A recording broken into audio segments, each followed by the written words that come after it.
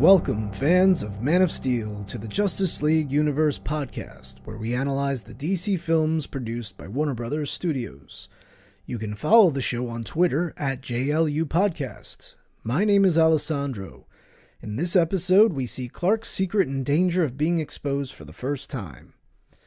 We start with a short scene where adult Clark comes out of the water. The most notable element of this scene as it begins is the music. The use of pop songs isn't very typical of Zack Snyder. However, this song helps to evoke a middle class, working man tone to match the types of jobs and lifestyle Clark is experiencing and learning about. The song is Seasons by Chris Cornell, and it's worth exploring the lyrics and how they relate to Clark. Summer nights and long warm days are stolen as the old moon falls, are the first two lines. The general sense of long days and heat apply to working hard, specifically in blue collar jobs. This is something Clark is no doubt familiar with, working and being raised on a farm, and he continues to be familiar with it in the various jobs he takes on, ones which require few qualifications and where people can be hired without much of a background check. The idea of nights and days being stolen as an old moon falls suggests that time is slipping by unnoticed. It gives us the impression that Clark has been on this journey of exploring the world for some time. The reference to something being stolen also precedes Clark stealing some clothes from a car. We'll talk a little bit of that in a moment. The sense of time passing is also conveyed through the title Seasons, and the hook Seasons Roll On By. On this journey of Clark's, he wanders aimlessly through the world, similar to someone being lost, as in the far- first line of the hook, and I'm lost behind. And it's taken him to a new location, another place to hide it all. Hiding who he is, his name, and his extraterrestrial origin. Clark discovers this new location after emerging from the ocean, which offers us a fun visual connection to Aquaman Whereas our first look at Clark has him starting in the ocean and coming to land, our first scene with Aquaman in Justice League has him starting on land and going into the ocean. Referring back to Clark stealing, we all know stealing is wrong, as we're sure Clark knows as well. It's something Jonathan and Martha would have instilled in him, and he would have picked up from his socialization and his naturally good heart. Most people work hard for the money they use to buy products. Stealing, therefore, is taking away their time and labor. Some Superman fans have argued that this taking of clothing is an immoral act by Clark, something he wouldn't do. They say he could have approached the people as someone in need, and they probably would have helped him out with some clothes.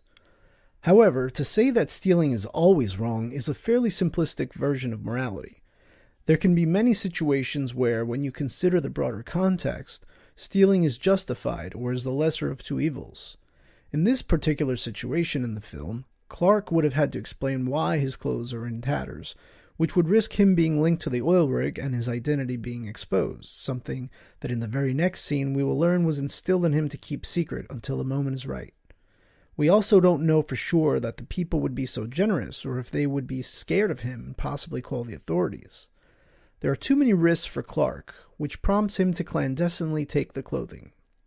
While stealing may be wrong, the need outweighs the dishonesty and crime. Does this mean that anyone who is in need around the world should steal? By no means are we encouraging or condoning theft, nor is the film. It is merely highlighting that we are compelled to go to extreme measures for survival, something that is in the nature of all living things. For Clark, hiding his secret is a matter of survival because he doesn't know how the world will react to his existence. This fear turns out to be warranted as we see events unfold in Batman v Superman, with both Batman and Lex setting out to kill Superman, with Lex actually succeeding. All that said, you would think we could forgive Clark for this small transgression after having saved the lives of the workers on the oil rig that led him to the predicament of needing clothes. In our last episode, we mentioned how Clark is what's wrong with Kal-El because it's not who he is. This gives context and relevance to the lyric, and the mirror shows another face. The face he sees in the mirror is Clark because that's who he grew up as, and the face he recognizes as Clark. but it's not who he truly is, but rather a human identity imposed on him. In that respect, it's a face other than his own. We mentioned that Clark is searching for himself in an effort to find his place in the world, which also ties into the notion of being someone else. Paradoxically, the version of himself he is searching for is also the version of himself he must hide from the world. As he establishes himself in a new town and a new job, it's another place to hide it all, as the song lyrics continue. To hide his alien origin, his powers, and now even his human identity, as he must assume new names to avoid any means of being linked to Martha Kent. The hook ties everything together in meaning. Clark is lost in a whole different world from which he was born, left behind, sole survivor of an extinct race. And seasons roll on by with Clark not knowing who he is, where he's from, or where he's going. The rest of the song's lyrics also fit well with the film and seem to be especially appropriate thematically for certain scenes. But as the reverb kicks in and the gain fades, we can gather that the importance or relevance of the remaining lyrics are not the focus at this time. Having put on the clothes he took from the back of the vehicle, Clark sees a short school bus which acts as a reminder of his childhood not only having gone to school on such a bus, but because of an important moment in his childhood involving a bus. He watches the bus pass by and then looks down, which is an indication to us that he is thinking. All this segues us into a flashback of that school bus incident, as the next shot is an establishing one that takes us to the farmlands of Kansas, where we see another short school bus driving down a long road.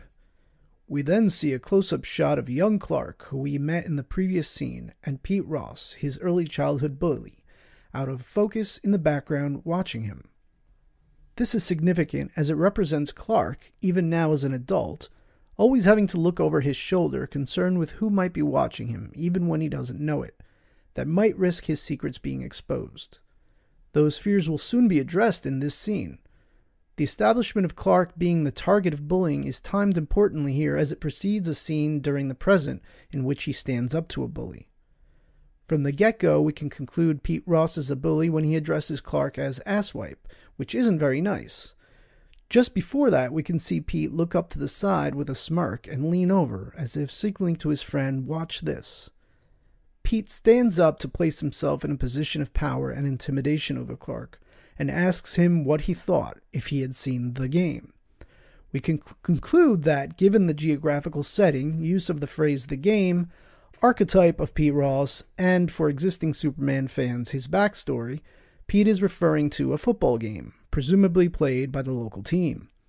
This early, subtle reference embeds a loose tie in to the football game in Batman v Superman and Cyborg's backstory, similar to how Clark's emergence from the water provided a subliminal connection to Aquaman. Lana quickly stands up for Clark, telling Pete to leave him alone. Here we see a girl showing strength and defending others by standing up to a bully. This is a nice setup for when we return to the present and see Clark defend a waitress against the bully. It shows that his experiences as an early age instilled in him the will to stand up to bullies, and to do so without needing to assert physical force against the person. It also helps to lay a foundation for Clark's eventual relationship with Lois, who is a strong, outspoken woman. And it also makes sense that Lana would be the one to stick up for Clark, being as she is not only his friend, but also a girl whose brains tend to mature sooner than boys in certain cognitive and emotional areas. Of course, Pete, the bully that he is, reacts to this by turning this gender difference behavior for that age into a chauvinistic diminishment of her gender by implying her value lies in her attachment to a male figure. Note that given the context of this scene, the misogynistic behavior is shown as being wrong. Pete proceeds to say that he wants to hear what Clark has to say. It's hard to argue with merely opening a dialogue, something that would have benefited both Batman and Superman in the sequel, so it doesn't make sense for Lana to push back further. And we all need the opportunity to learn for ourselves. Pete urges Clark on with more name calling. Here was Clark's opportunity to speak up and defend himself. Unfortunately, it seems to be a trend in Clark's life that he's interrupted by some disaster before he can do so. Similar to the Capitol building explosion in Batman v Superman, before Clark can utter a word, the tire of the bus blows out. However, it is important to note that an important lesson being conveyed to us, the audience, and which Clark learns here and throughout his career as Superman going forward, is that actions speak louder than words. Superman's actions speak to his character and motivations.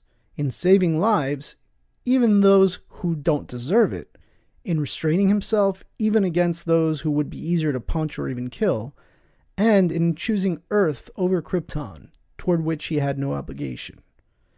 The students are thrown in their seats and the driver loses control of the bus just as they reach a bridge.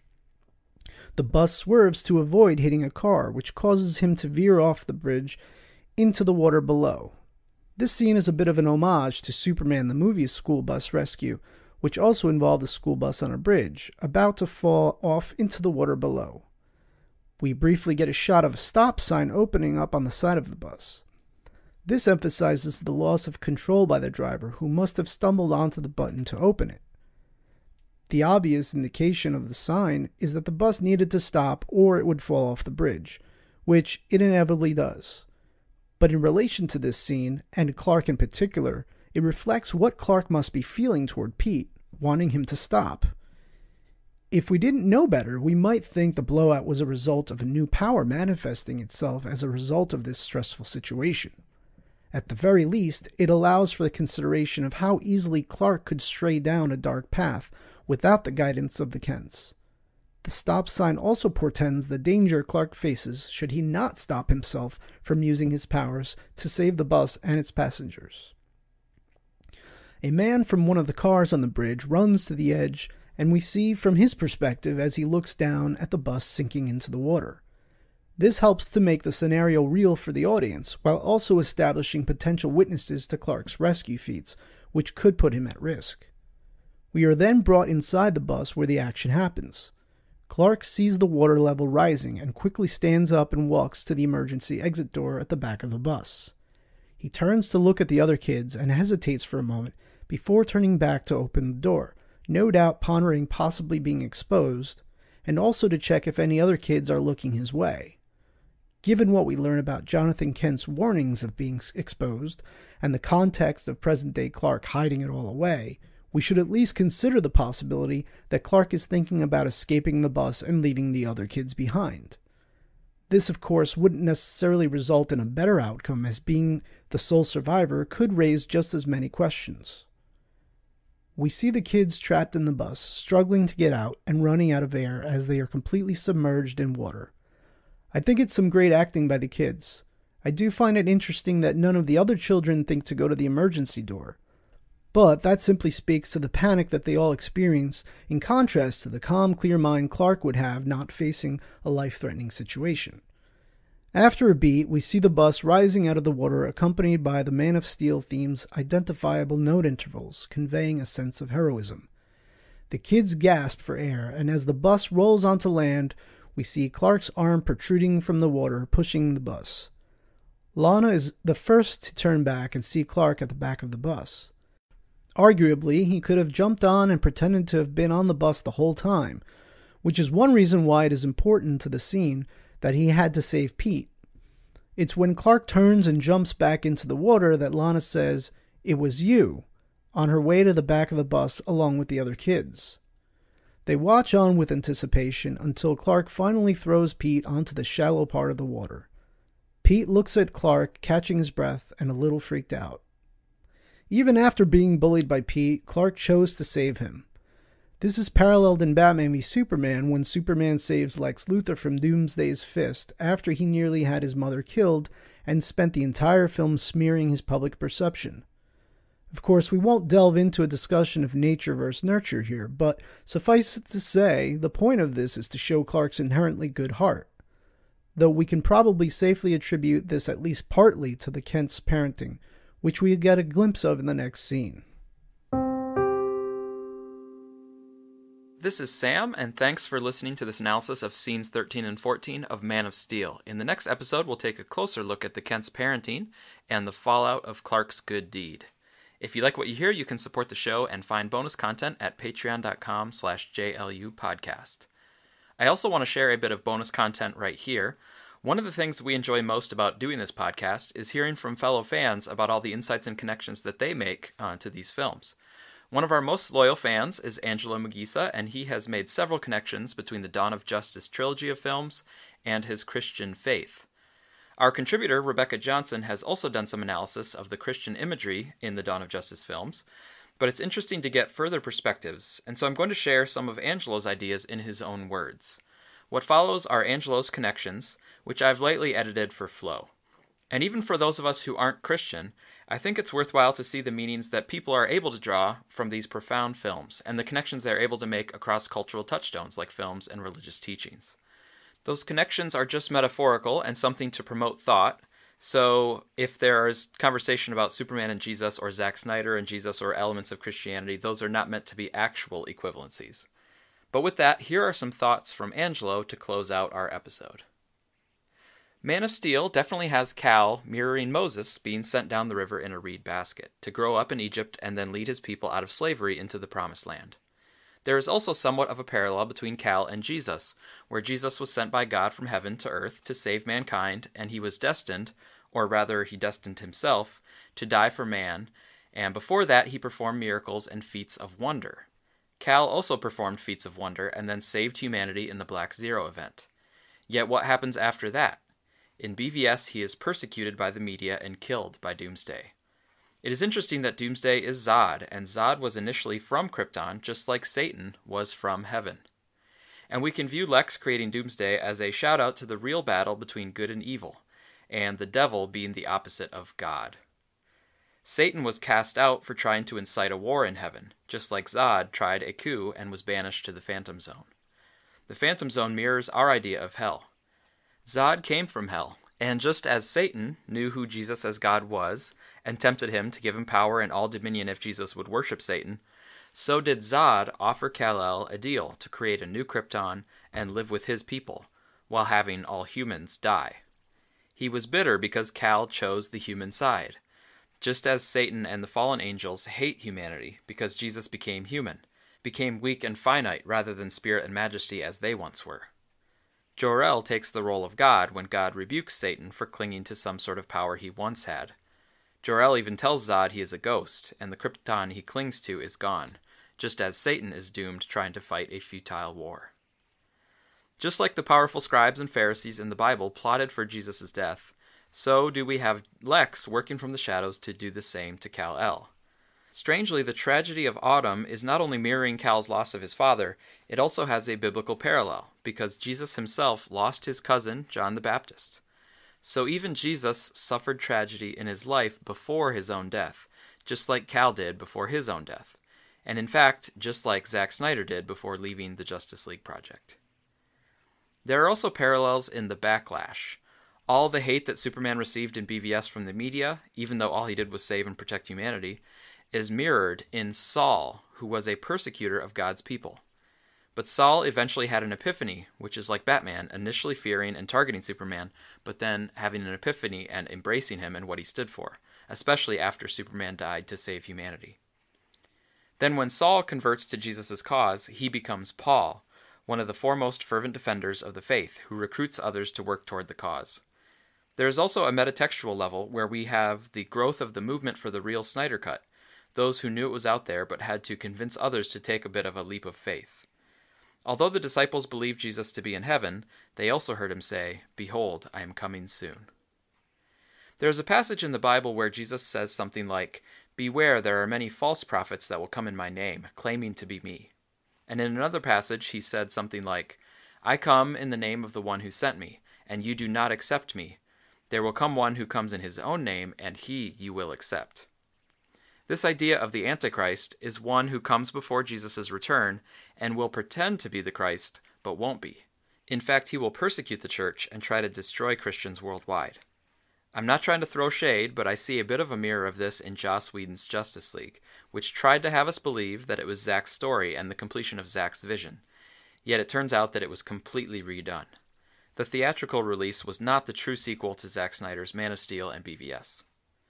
The parallelism continues further now, with the movement started by the fans bringing Zack to the forefront. It mirrors Jesus' church telling people to prepare for the return of the Lord. So we are anticipating the true return of Kal-El, where we can find out whether Zack planned to have the Codex play a role, whether the whole anti-life equation was a setup to the big battle between ultimate evil, Darkseid, and good, Kal-El and the League, like Christ and his angels. One cannot put it past Zack because of how meticulously he seeded biblical references in his saga. There's also the clear parallels with Superman's death and the death of Jesus, leading to the resurrections. Three days later, he was resurrected for Jesus, and it's in the third film for Superman. But I also think about Lazarus. We have Lazarus resurrected after four days in the Bible, and we have the rehiring of Zack to finalize his film, releasing it four years after the theatrical release. So, in a way, the Superman tale both resurrects the work of the director in the universe he helped create and also resurrects the hero, mirroring Jesus resurrecting Lazarus and then himself. As a believer, I definitely see a hand of God in this whole saga. I think Zack channeling Christian beliefs in his saga pleased God, and perhaps that is why the hate for BVS was bordering on demonic, at least in my eyes.